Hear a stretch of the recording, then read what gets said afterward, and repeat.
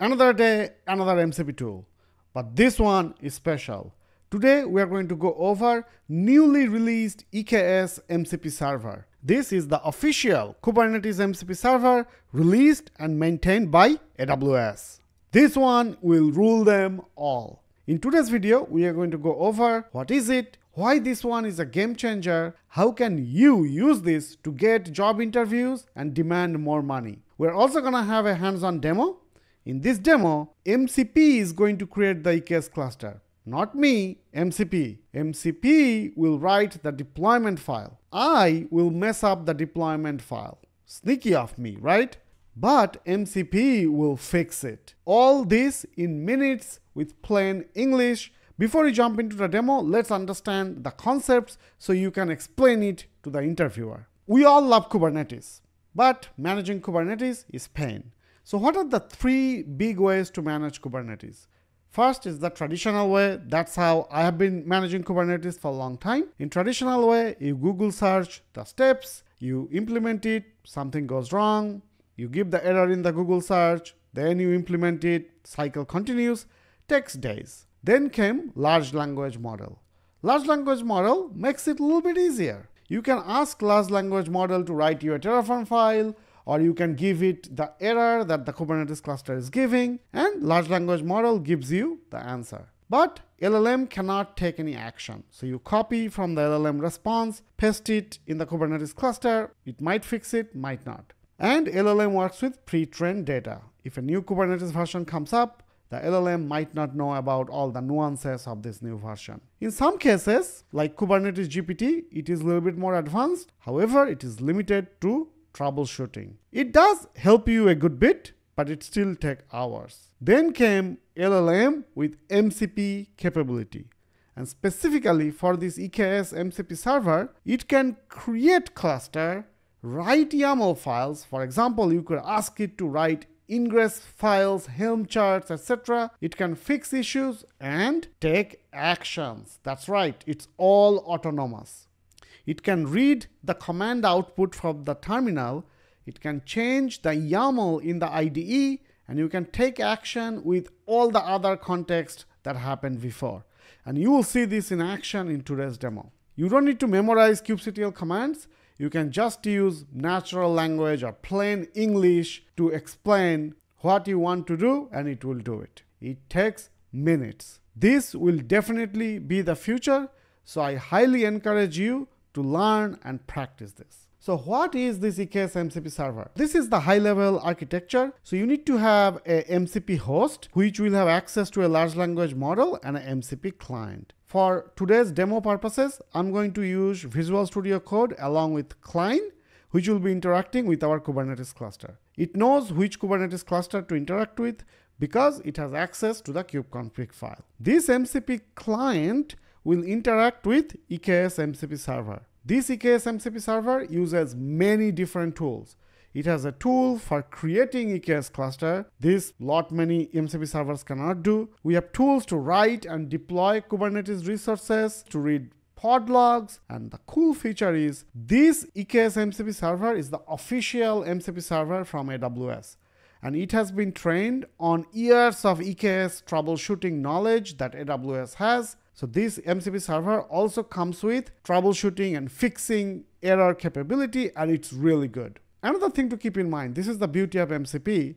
Okay, let's say you are using the agentic chat to say create a EKS cluster, deploy my stuff, fix my issues. But if you say, hey, what is the price of Amazon DynamoDB. Okay, maybe you are using DynamoDB with this architecture. Now you can have another MCP server right? For AWS cost, which is another official AWS MCP server, and you can just plug it in to the same MCP host. So this is just plug and play, and you don't have to switch your context. That's that's how the name came in, right? Model context protocol. So you don't have to switch context and copy paste from bunch of tools to the LLM.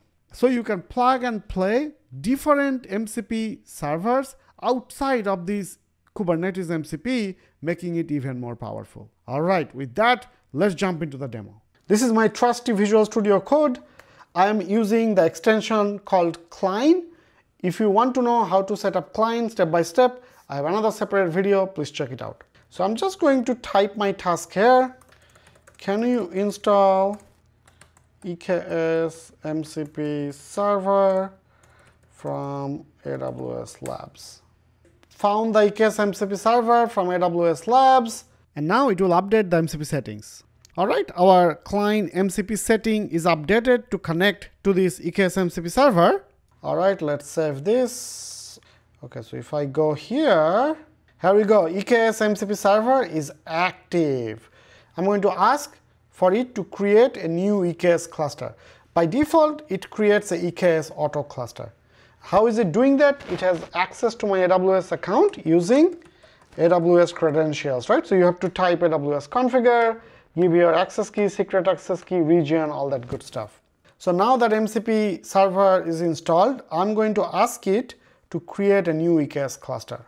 All right, so it asks for the new EKS cluster name, EKS MCP test cluster. Okay, look, Cline wants to use a tool on the AWS Labs EKS MCP server. See how automatically it determines the correct tool to use right? So let's say approved. I'm gonna speed up this process. If you want the latest cloud interview guide, including GenAI interview questions and their answers, with average answers that most candidates give, and delightful answers that sets you apart and get you hired, go to cloudwithraj.com slash newsletter. Again, cloudwithraj.com slash newsletter. All right, back to the episode. So it actually created the CloudFormation and submitted it. Alright, while the cluster is being deployed, let's ask it to create a Nginx deployment. Look how it is changing it in the IDE. Is this cool or what? Okay, so we are going to do a little bit of trickery here. Okay, so this image, so this is the actual container which is getting from Docker Hub, right? So I'm going to change this to engine Y. Okay, so that should give a image pull error. So I'm going to save this. Now we are going to wait till the EKS cluster is up and running. All right, let's ask it to deploy the Nginx deployment.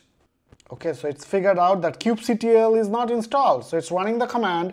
See, this stuff, you have to go do all this stuff yourself, but now it's just doing it. Okay, so now if I run kubectl get pods dash a, so it lists all the pod, but see it's giving the error image pull back off because we intentionally changed the name of the container from Nginx to engine Y. And guess what? I'm going to ask it to fix this for me. I'm not gonna go Google and troubleshoot all that stuff. I simply typed in, can you figure out the issue with my pods and fix it? Check the current pod status to see if the issues exist and all that stuff, okay? Okay, look, it figured out the issue.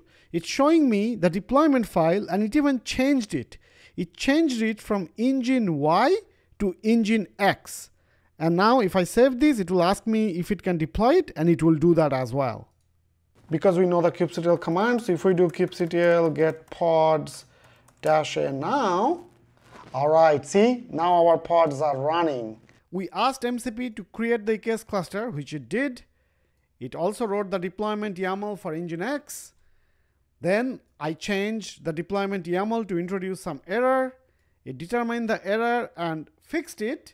And all this in minutes, I used just plain English to tell what to do. Now comes the big question. All right, the big question. Will this replace jobs? And how can you use this to your advantage? One thing is clear, SRE and infrastructure bar will go up. What do I mean? More will be expected, especially for entry-level jobs. So previously, if you are a entry-level SRE or entry-level cloud engineer, infrastructure engineer, the management would say, all right, go create this EKS cluster, write a Terraform, write Helm charts, write me this deployment file, and you can take a couple weeks. But now, because with these tools, they will say, all right, use this and get it done faster. That's for sure coming. Some of you ask me that, but will not this be expensive? LLM cost is a non-issue. I did this demo and of course I had to play around with it before I recorded the video and I used it extensively for hours and it costed me like 75 cents. So this will be way cheaper than hourly rate of an employee, right? So cost is a non-issue and you are seeing this in action as well as the time goes on, the models are becoming cheaper and cheaper. However, security will be a bigger issue. For example, if you search in MCP Marketplace Kubernetes, there are 20 different Kubernetes tools. Some of it from some weird GitHub repository. You do not know if they are good or they are bad. Because these MCP tools can execute commands, you have to be careful. Security organizations need to solve before this gets widely adopted. There are still kinks, right? For example, when the MCPs analyze the troubleshooting or create a cluster, sometimes it will try to run command that is not necessary. It goes in a path that is not really ideal. So in that cases, you need to have the knowledge of the infrastructure and what it is doing so you can reject those commands. So again, for the experienced people, that is the value you are going to bring in addition to your domain knowledge and the knowledge of the architecture. And as always with technology, if you adopt this, this will be fine. Some of you say that, okay, so if this does this this much faster, won't it reduce the numbers? That's not how it goes. So if you think about it, all these big techs, Amazon, Google, Facebook, they said, okay, if we are going to hire a lot more developers, does that mean that they will be done adding functionality? No, then they would stop hiring developers by now. But customers want more and more. They want more features, new technology come up. So as your time gets free up from using these tools, you will be assigned something else because this is emerging technology and with any emerging technologies, new jobs, new functionalities come up. The same thing happened when the internet revolution was going on, the dot-com, as well as when we are switching from brick and mortar to internet, horses to the car, industrialization, etc. And if you adopt this and showcase this in your resume and GitHub, you can even demand more money and you can even attract recruiter to get interviews faster. All right, folks, that's it for this one. I'll see you guys and girls in the next video. Bye.